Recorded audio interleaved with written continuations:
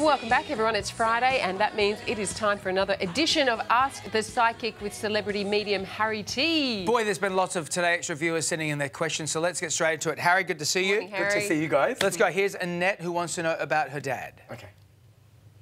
Just wondering, um, many years ago, you know, my father passed away, and I've briefly had what I would say is maybe some sort of um, contact with him. I just wonder if that was him, and you know, how is he? I guess.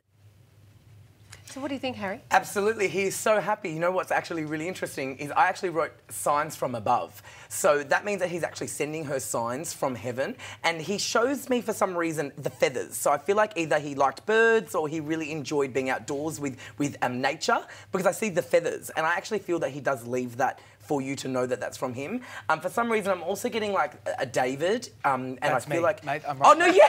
I'm right here. no, but I think this person might be deceased. Um, and I don't know if that's his name or if there's a relative that's in spirit called David, because a lot of people know that I do get names. You and, do, yeah. But I, I, I get a David, and you know what? He's so excited. Uh, but your father's definitely with you, and you know what? He's got this cheesy grin a little bit, um, but he's cheeky and he's a practical joker. There he's we go. great. Very interesting. Kathleen has a question about a reignited romance. Kathleen. I've recently reunited with an old flame, and the passion is as great as ever. And um, so my question was, oh, he was always afraid of marriage. So my question was, will he ask me to marry him this time?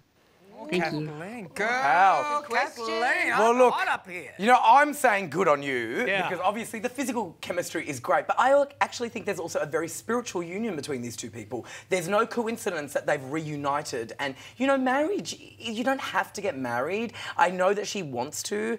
I wonder if he's going to do it in a non traditional way with her. So I almost get this feeling that there will be some form of a tied relationship, but I don't necessarily see like a church and the whole wedding dress thing. It could be very simplistic, Mm-hmm. and I actually do see that for them, but it's not necessarily Down a to birth, traditional deaths wedding. maybe just a simple. You know what? It could even be something like just in a garden where they just get someone just to, mm. you know, basically officiate or whatever. have a party. Yeah, more like a party. And I actually see a barbecue, so he might be into barbecues because I just Oh. have that vision. Oh, outdoors. Right, with Yeah. the ring. Okay. Hey, Donna has an interesting question about her late husband. Donna.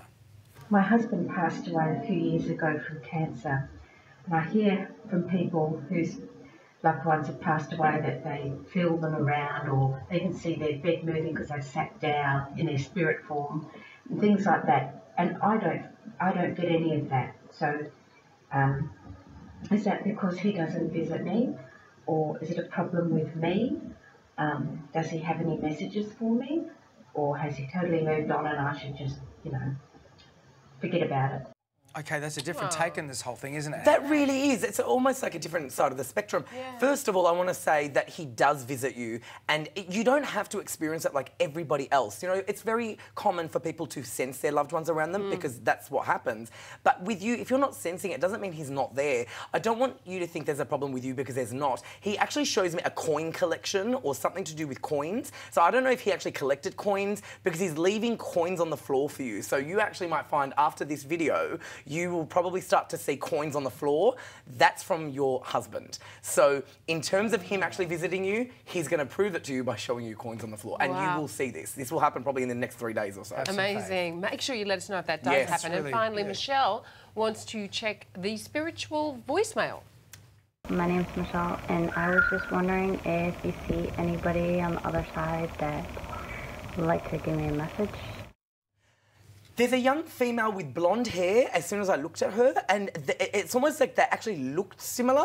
Um, I almost feel there could also be like a motherly energy around that girl, um, which is so interesting. But there's there's someone that looks like her that was standing beside her because when I looked at the video, I actually could see a silhouette of someone that looked like her, and I thought, oh, is there two people? But there was only yeah. one.